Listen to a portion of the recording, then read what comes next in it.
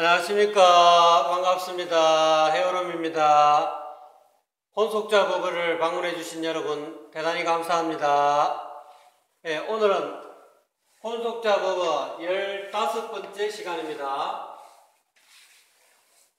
한번 보겠습니다.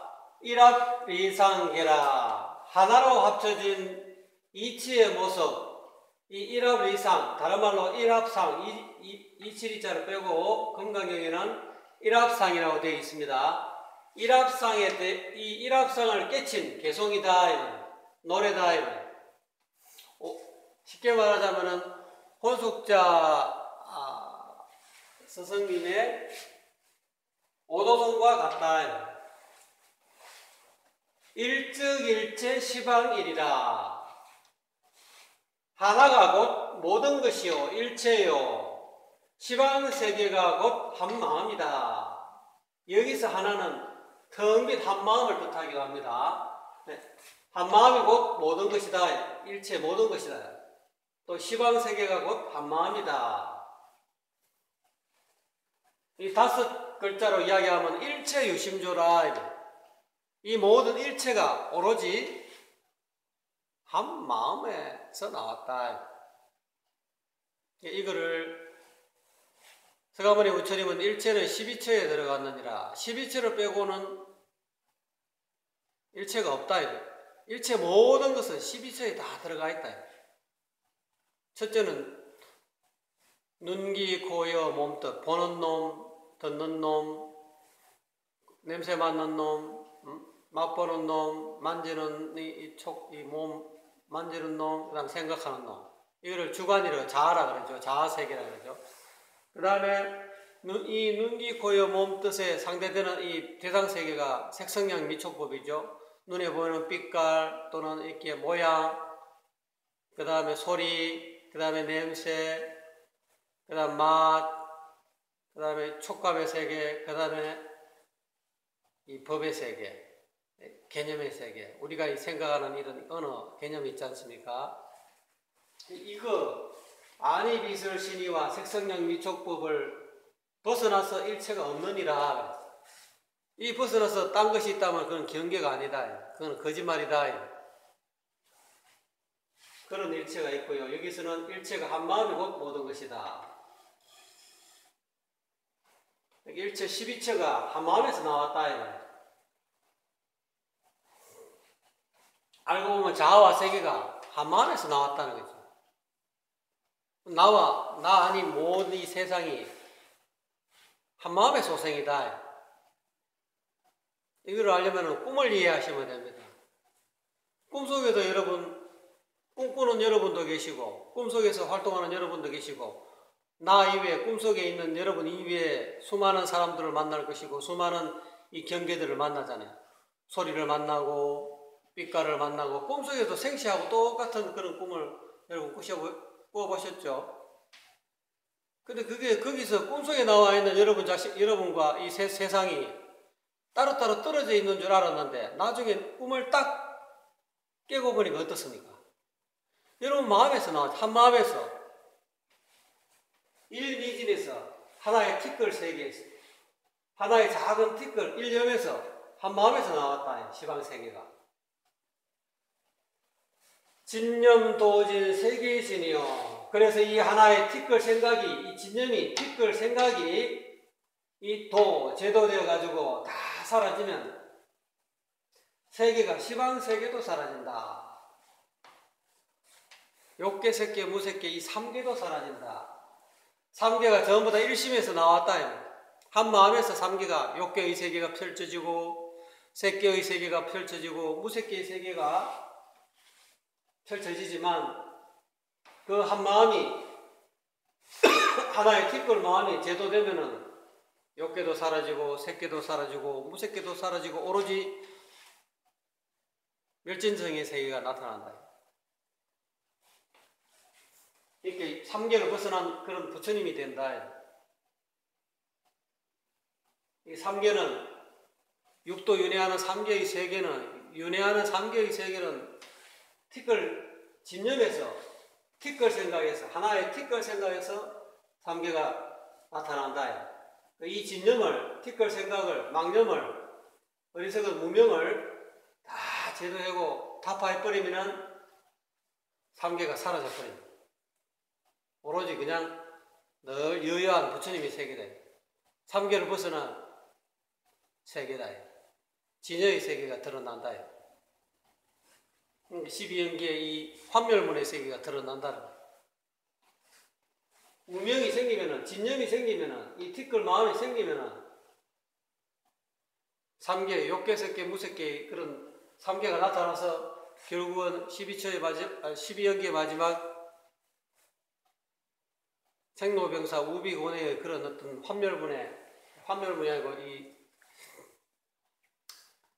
이그 유전문의 세계가 드러난다.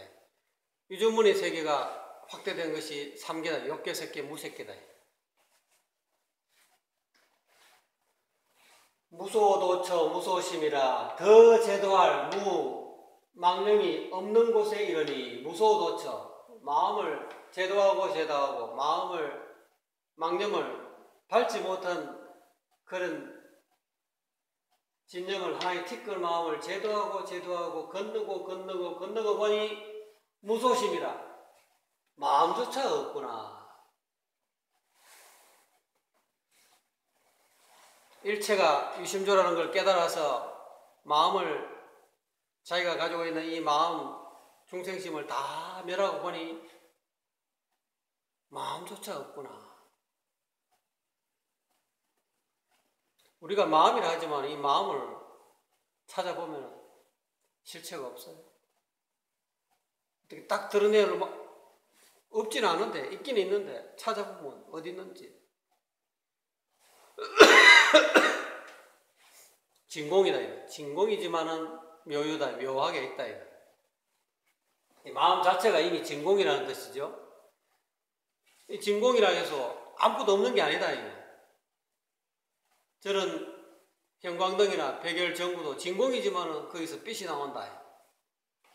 마찬가지로 이 마음도 그와 같다. 진공묘이다. 심적시구리요 심하제라.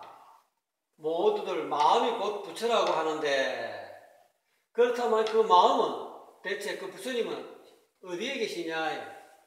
심적불 불적심이라는데 부처가 곧 마음이요 마음이 곧 부처다라고 이야기하지만 그때 이야기하고 부처는 마음은 도대체 어디에 있느냐?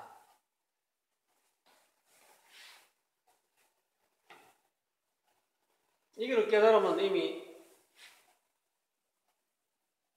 조사님과 다를, 다를 바가 없겠죠. 본래 마음, 본래 면목, 본래 마음을 깨달은 사람은 그게 부처죠. 부처는 깨달은 중생이 부처다. 중생이 깨달으면 부처가 된다. 그럼 부처가 무엇이냐? 부처는 미혹한 부처를, 아니, 주, 그럼 중생이 무엇이냐? 중생은 미혹한 부처가 중생이다. 부처가 미혹되면 중생이 되는 것이고, 중생이 깨달으면 부처가 되는 것이다. 부처와 중생은 같으면서도 다르다. 이게 더 분별이겠죠? 이론 불법 시왕공이라 실천이 따르지 않는 그런 이론 불법은 실천이 따르지 않고 이론, 이론에 거치는 그런 부처님의 진리는 빛을 낼 수 없는 왕공이다. 진공묘유가 아니다. 형광등이나 백열전구처럼 그 완전 진공 상태가 돼야 거기에 불빛이 햇빛이 저, 저 빛이 광명이 생기는데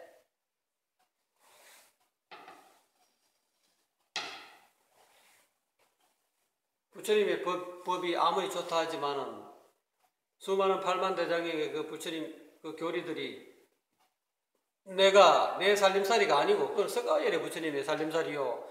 서가열의 부처님의 수많은 제자들의 살림살이가 팔만 대장경에 나와 있고 경율론에 나와 있다. 경정과 율장과 경장 율장 그 다음에 논장에 나와 있는 그 부처님의 불법은 남의 살림살이다. 내 살림살이가 아니다. 그거를 듣고 내가 실천하면은 깨달으면은 그게 이제 비로소 진공이 된다. 그러지 못하고 그걸 달달달 외워가지고 남에게 이야기하고 자기가 깨달은 것처럼 이야기한다 하더라도 그것은 이론적인 불법에 지나지 않는다. 남의 살림살이다. 참회 도제 진내탈이라. 그러므로 내 살림살이가 되려면은 참회를 해서 모든 죄를 건너가야 된다. 참회 반백을 해야 된다. 이런 불법이 자기 살림살이가 되고 진짜 부처님의 법이 되려면 참여를 해야 된다. 이게는 이 마음 심자가 이거는 중생심입니다. 요거 바로 이렇게 헤어진 것은 본성을 뜻하는 거죠. 마음이 밝아 있는 마음이다. 근데 이 본래 면목을 두 사람이 늘 관하고 있다. 관자재보살하고 있다. 요걸 보살이고 자재보살이고 요거는 요, 요 마음은 자재보살이고 요거는 두 동자님이 자재보살을 늘 지키고 있다. 지키고 있는데 그때 일어나는 매 순간 일어나는 네 가지 넉사에다가 안일비자 네 가지 하지 말아야 할 것. 그것을 하게 되면 죄가 된다 하죠. 그래서 비 얘가 아닌데 보게 되면 죄가 되고 얘가 아닌데 듣게 되면은 또 그것도 죄가 되고 얘가 아닌데 행동하게 되면은 그것도 죄가 되고 얘가 아닌데 말하게 되면은 그것이 죄가 된다. 얘가 아닌데 본다. 그래서 유교에는 이 사비리가 있죠. 네 가지 하지 말아야 될 것 하지 말아라.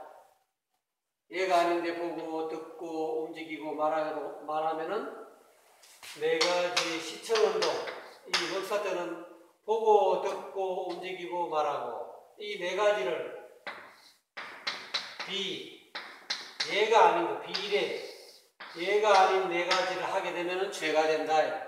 여기서 이 비는 이 하지 말아야 될 것을 늘 매 순간 일어나는 이 하지 말아야 될 그런 어떤 마음의 움직임, 행동, 그런 거를 밑에 한꺼번에 이 창과죠.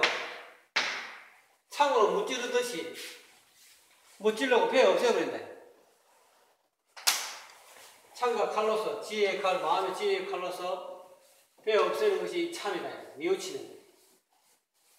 내가 얘가 아닌데 말하고 얘가 아닌데 듣고 얘가 아닌데 움직이고 얘가 아닌데 말하는 시청운동을 이 창과로 갖고 이거 창과 칼로서 지혜의 칼로서 이렇게 베어 내버린다. 그걸 참이다. 그래서 매 순간 이 본래 마음을 매일 매일매일 매합니다. 매일매일 이 본래 마음을 뉘우치고 회개한다. 고친다. 그거를 참이라 그러죠. 이러한 참여를 통해서 다른 말로 반백이라 하는 참여하게 되면은 이거는 힘으로 돌아간다. 본래로 돌아간다. 돌아갈 기자니까 마음이 본래로 돌아가는 것을 반백이라 그럽니다. 회관 반조라 그러죠. 돌아간다. 참회 반백이다. 참회를 통해서 본래 마음 양 본래 마음자리로 양심자리로 돌아간다. 그렇게 해서 참회를 통해서 본래 양심자리로 돌아가 돌아가면은 그게 도제 모든 죄업에서 죄에서 벗어난다. 그래야 그것이 참된 해탈이 된다. 보리성각 열도공이라 보리수 아래에서 회광반도로 이 선을 부처님의 마음을 참 면목을 자기 본래 면목을 본심 본 마음을 확연히 각 깨달아 갔다 깨칠 때 즉각 왕공을 건너간다. 멸도, 멸도하게 되면 이 공에서 건너 멸도한다. 왕공, 왕공, 왕공의 그 상태에서 건너간다는 것은 우리가 이 고해에서 괴로움의 바다에서 저 언덕으로 열반의 세계로 건너가기 위해서는 뗏목이 필요하다. 뗏목은 곧 부처님의 불법이다. 부처님의 건너가는 법배, 진리의 배다. 우리가 이 언덕이 괴로움의 언덕에 있을 때, 차 안에 있을 때는 괴롭다는 거예요. 근데 이 부처님의 이치를 깨달아서 법배를 타고 이 고해를 건너가면은 피안에 저 언덕이다. 열반의 세계다. 열반의 언덕이다. 그 내가 이미 열반의 언덕에 건너왔어요. 건너왔을 때는 어떻게 됩니까? 부처님의 불법을 또 그 뗏목을 질질질 계속 끌고 가야 되나요? 내가 저 언덕에 도달했으면 그 뗏목은 버려야 돼요. 부처님 불법이 아무리 좋다 하지만 그걸 자꾸 거기에 집착하면은 그것은 왕공이 된다는 거예요. 오히려 더 괴로움이 된다. 그래서 아공 법고 나를 배우라 나는 실체가 없다 나한테 집착하지 마라 하는 부처님의 법을 통해서 나를 더 비웠어요. 근데 이 나를 비우라는 이 부처님의 이 법에 집착하게 되면 또 그것도 또한 괴로움이다. 그래서 이 법 진리도 또한 비우라. 나와 이 진리 아공법공이 돼야 이 구공이 돼야 돼. 함께 모든 다 나도 비우고 법도 비우고 다 내려놔라. 아공 법공이 됐을 때 완전한 해탈이 된다. 그래서 제 선서들의 말씀에 부처를 만나면 살불살조라. 부처를 만나면 부처를 죽이고 조사를 만나면 조사를 죽이라. 실제로 죽이라는 뜻이 아니고 그 부처님의 그 불법을 전해주는 부처님이 또 불법을 전해주는 그 조사님의 끄달리지 말라는 거예요. 아공 법공 하라는 거예요. 법을 전해주는 그 법에도 법도 이렇게 지워내라 내려놔라. 그렇게 됐을 때 진짜 해탈이 된다는 거예요. 그거를 이제 호독자는 참회 도제라고 이렇게 이렇게 이야기해요. 진정한 참회를 통해서 진정한 참회를 하게 되면 우리가 진짜 진참회를 하게 되면 모든 것을 다 내려놓게 됩니다. 나도 내려놓고 법도 내려놓고 오로지 텅빈 진공묘유로 들어간다. 진공묘유로 들어갔을 때 비로소 멸도공 이 왕공이 어리석은 공이 집착한 공이 이 공에 부처님의 공, 공의 돌이라 그러죠. 반야신경은 공의 이 돌이는데 이 공의 돌이마저도 전부 다 멸도시키는 거 내려놔야 돼. 안 내려놓고 공에 집착하게 되면 이 왕공이 된다. 진공이 아니고 그 형광등이나 백일등에 진공 진공 상태가 돼야 묘유가 생기는데 안 된다. 이게 반야시가 드러나지 않는다. 일례로 가지고 어, 이 일합 이상을 일례를 들어가고 마지막으로 이야기 해보겠습니다. 중국에 옛날에 중국 남송시 남중국시인가 그때 임종이라는 법사가 있었습니다. 임종 법사가 법성사에서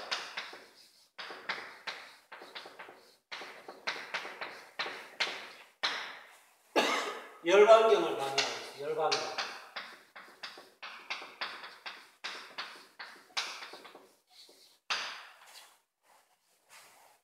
그때 수많은 납자들이 이 인종법사에 이 법성사에서 열반경 강의를 들으러 많은 사람들이 왔어요.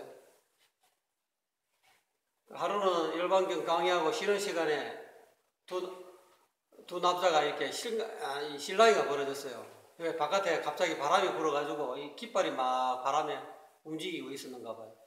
그래서 한 법자가, 한 그 스님이, 옆에 있는 스님은, 야, 저, 저, 저, 저 봐라. 저 깃발이 바람에 흔들린다. 야, 이 깃발이 잘 움직이네 하니까 옆에 있는 친구가 도반이 그거 깃발이 움직이는 게 아니다. 바람이 움직이는 거다 말이지. 그한 사람은 깃발이 움직이는 거다 그러고 또 한 사람은 바람이 움직이는 거다. 그 둘이서 결론이 안 나니까 감론을박 결론이 안 나니까 옆에 있는 친구를 또 끌어들입니다. 야, 너는 어떻게 생각하나? 저기 지금 깃발이 움직이는 거 맞지? 어, 그래 맞다. 네 말이 맞다. 그 깃발이 움직이는 거지. 또 옆에 있는 다른 도반은 아니다 무슨 소리야. 바람이 부는 바람이 움직이니까 깃발이 움직이지. 그러니까 서로 이제 깃발이 움직인다, 바람이 움직이다 이래갖고 그 열반경 열반경 그 강의를 듣는 이 납자들이 전부 다두 배로 갈라졌어요. 그러니까 그 사이에서 어, 몰래 이 강의를 듣고 있는 육조해농 조사가 아니다. 깃발이 움직이는 것도 아니고 바람이 움직이는 것도 아니다. 그럼 그럼 뭐가 움직이는 거고? 아니, 너희들 마음이 움직인다. 그래서 그게 감론을박이 종식이 됐다는 그런 이야기가 있죠. 그, 그것을 말하는 마음, 이게 이러한 비상입니다. 그러니까 너무 이제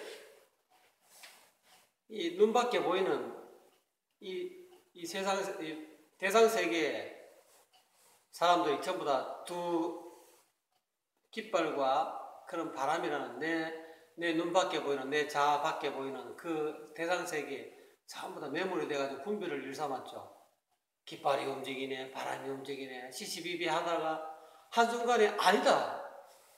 너 안으로, 내 자신으로 돌이키는 거죠. 그건 알고 보면 네 마음이 움직이는 것이야. 어, 일정일체다. 한 마음이, 한 마음이 모든 것을 냈다. 이 시방 세계가, 분별의 세계가 하나의 작은 티끌, 일념에서 나온 것이다. 너희들 한 마음에서 나온 것이지, 마음이 움직이는가 그런 것이지. 근데 그러한 육조해령조사의 그런 어떤 마음, 마음의 어떤 오도성을 우리가 가지고 있어도 그것도 일종의 내가 육조해능의 어떤 그런 경지가 아니면은 그 마음이 움직이, 깃발이 움직이는 것도 아니고 바람이 움직이는 건 아니고 마음이 움직이라는 것을 깨닫지 못하면은 뭔 소리 하고 있노? 그러니까 내가 그런 어떤 그 육조 해능의 그런 살림살이가 되지 못하면은 마음의 경계가 되지 못하면은 그 말을 듣고도 헛소리라고 이야기한다는 거예요. 아무리 좋은 불법이라도 내가 깨닫지 못하면 이런 불법에 지나지 않는다는 거예요. 내가 깨달아서 내가 그 경지에 가봐야 아 그렇구나. 그 이후에 그 무문 회계설사가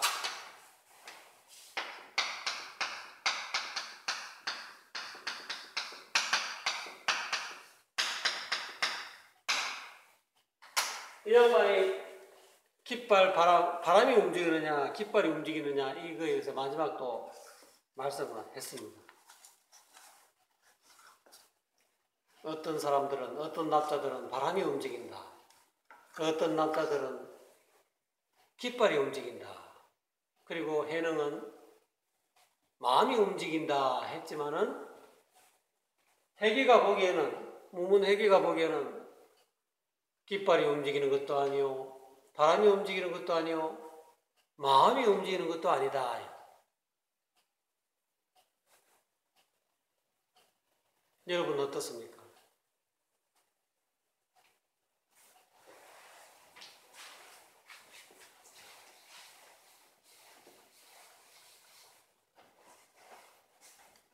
마음의 실체를 살펴보십시오. 마음이 과연 움직일까요?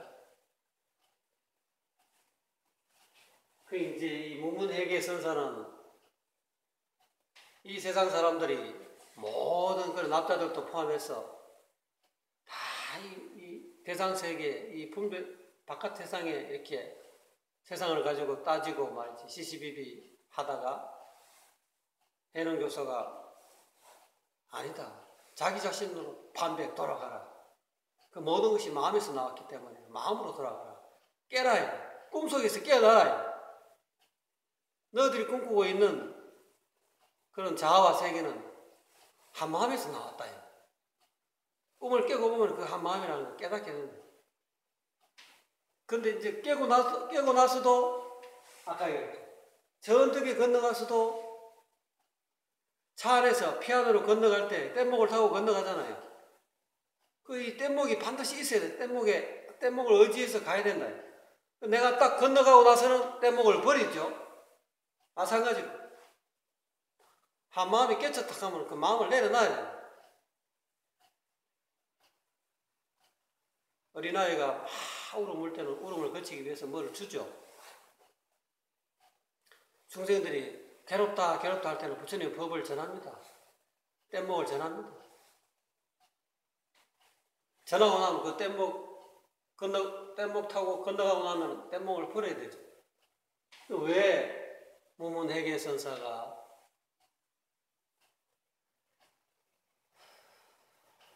마음도 아니다.